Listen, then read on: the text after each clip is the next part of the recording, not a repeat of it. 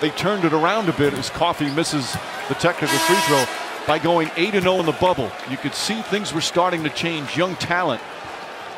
And then they added Chris Paul and Jae Crowder, and this has been a dream season for the Phoenix Suns. And it's not over yet. Both coaches emptying the benches. So much emotion for Chris Paul. He's going to be in the Hall of Fame someday. And now he's going to be able to play for the NBA championship. And it's a different level. I can remember Larry Bird, the great Larry Bird, becoming an Indiana Pacer coach and talked to Reggie Miller and myself and said, I want you guys to get there. It's a whole different level.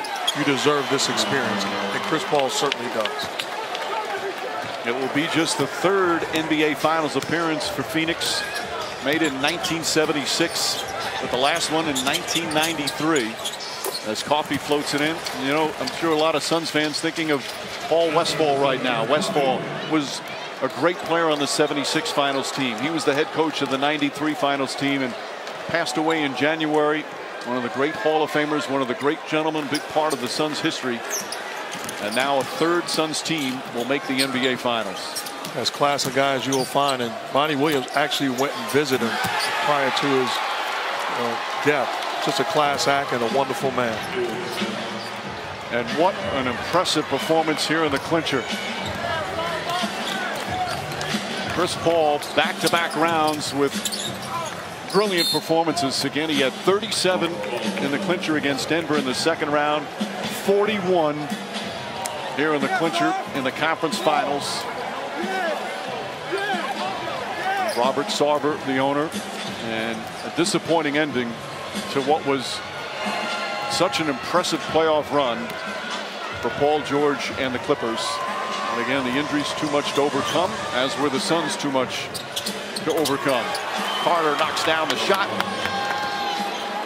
And what a turnaround offensively after struggling last couple of games against an excellent Clipper defense. They explode for 130 points, 56% shooting from the field. Oturu shot won't go. The follow misses, but a whistle and a foul. And they will have home court advantage in the finals, regardless if it's Milwaukee or Atlanta. That series tied at two games apiece in the East.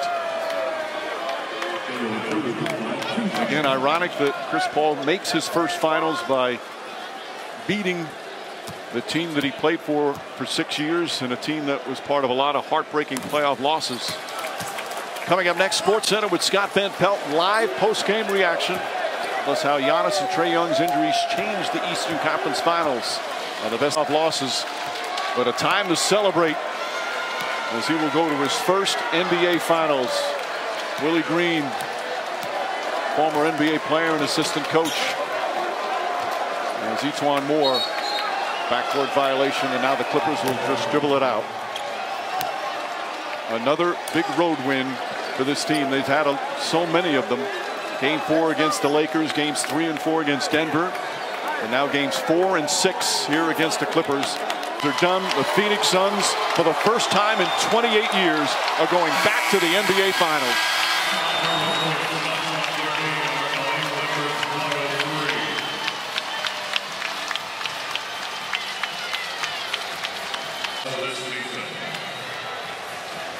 And you love to see this respect at the end of a very hard-fought playoff series. And you look at Ty Lue, a former player. You look at Chauncey Billups, a former player.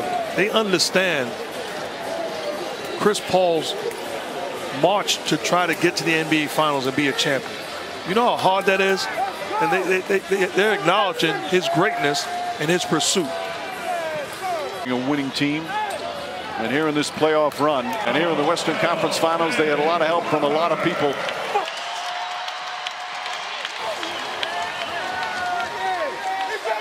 Chris Paul acknowledging Lil Wayne and the support that he has shown, the love he has shown to the Phoenix Suns, believing in them, supporting them, being around them.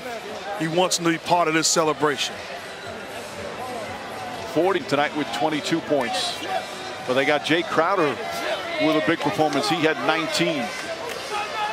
He came back strong, was magnificent against Denver, then missed two games in this series after testing positive for COVID. Struggled a little bit in the first couple of games back. But a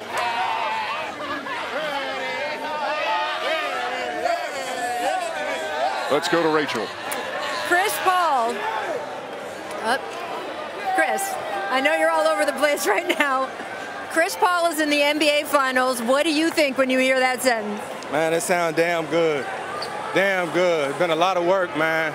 A lot of work. Going to a new team, everybody staying the course. That team fight hard. T. Lue, unbelievable coach. Chauncey Billups, my big brother. So many ties to that team. But damn, this feels good. Chris, in this game, there was a point the Clippers cut it to seven.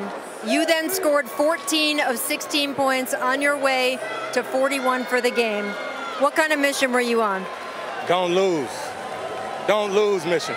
You know what I'm saying? A lot of shit going on. Excuse me, I'm sorry. I just want to get over there with my team, Rach. Respect, appreciate you. I'll talk to you when I give you the trophy. How about that? Back to you, Mike. You can just you can hear the emotion in his voice. Again, it's taken him 16 years. One of the premier point guards throughout his entire NBA career. Now at age 36. Remember a few years ago, people were starting to say he was on his decline. What he did last year was magnificent with OKC, just getting them into the playoffs. And then this year comes to a Phoenix Suns team that had not been to the playoffs since 2010, and here they are in the NBA Finals. Every single one of these young players talk about the impact that he's had. So now they're